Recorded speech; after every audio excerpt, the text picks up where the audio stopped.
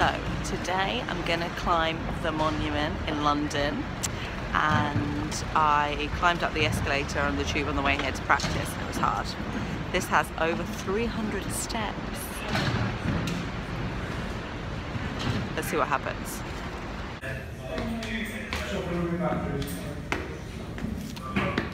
So I'm in, I'm climbing.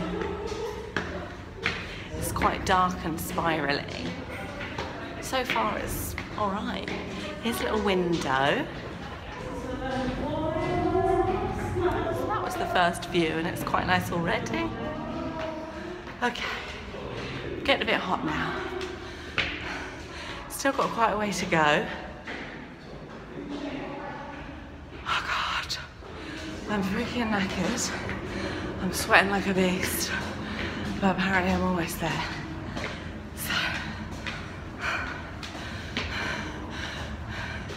I see daylight.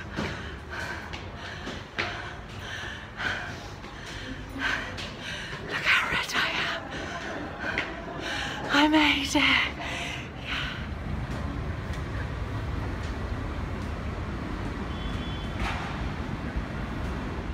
so I did it, I climbed to the top of the monument. I've lived in London all my life and I've never done it. And I'm pretty glad I did because check out these views.